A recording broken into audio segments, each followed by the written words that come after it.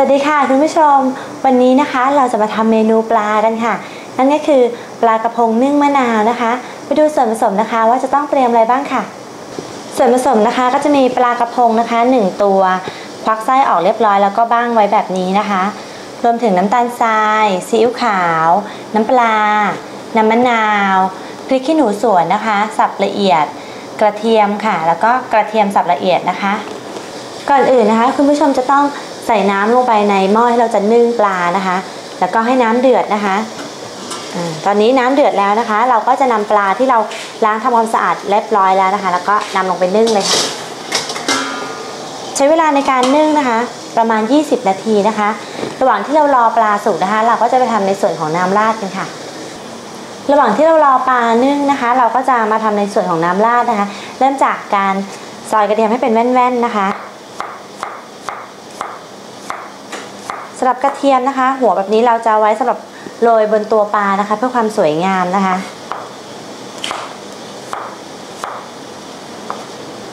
เวลาซอยกระเทียมนะคุณผู้ชมต้องระวังนิดนึงนะคะ เพราะว่ากระเทียมเนี่ยค่อนข้างจะไม่ค่อนข้างจะกลมหรือก็มีเหลี่ยมนะคะ เพราะฉะนั้นมันจะดิ้นได้ง่ายนะคะเพราะฉะนั้นจะต้องใช้ความระมัดระวังในการใช้มีดนะคะตอนนี้เราหั่นกระเทียมได้ที่เรา ต้องการแล้วนะคะ เดี๋ยวเราจะมาทำผสมในส่วนเครื่องปรุงต่างๆค่ะ ทีนี้ก็มาถึงในส่วนของการทำน้ำราดนะคะ เราก็จะใส่ส่วนผสมลงไปนะคะ ก็คือน้ำตาลทรายค่ะ จากนั้นตามด้วยน้ำมะนาวนะคะ เราจะใช้น้ำตาลทรายไม่เยอะนะคะ เพราะว่าสำหรับเมนูปลากระพงนึ่งมะนาวเนี่ยจะต้องเผ็ดเปรี้ยวเค็มนะคะตามด้วยซีอิ๊วขาวนะคะ น้ำปลาค่ะ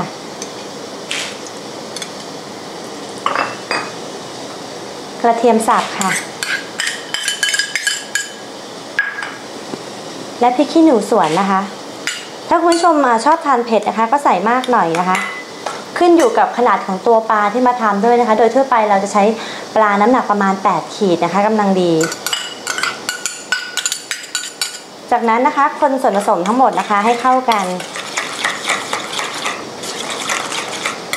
คุณผู้ชมจะต้องคนจนน้ำตาลละลายนะคะ เพราะว่าเราจะใช้น้ำราดเนี่ยราดบนตัวปลาก่อนเสิร์ฟนะคะ ตอนนี้นะคะปลาที่เรานึ่งไว้ก็สุกแล้วนะคะ เดี๋ยวเราจะนำปลาออกมาปิดแก๊สได้เลยนะคะ ตอนนี้ต้องใช้ความระมัดระวังนะคะ อุปกรณ์ช่วยนะคะคือถุงมือนะคะเราก็จะยกปลาออกมานะคะอ่า เสร็จแล้วนะคะ เดี๋ยวเราจะนำปลาลงมาจัดใส่จานกันนะคะ หลังจากนั้นนะคะเราก็จะมาราดบนตัวปลาด้วยน้ำราดที่เราทำไว้แล้วนะคะ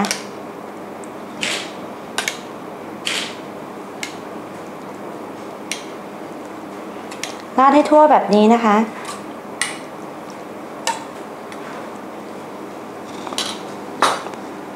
และตามด้วยกระเทียมที่เราหั่นเป็นแว่นๆไว้นะคะ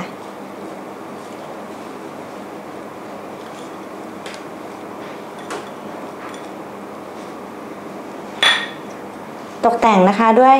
ใบผักชีค่ะ แล้วก็พริกชี้ฟ้านะคะ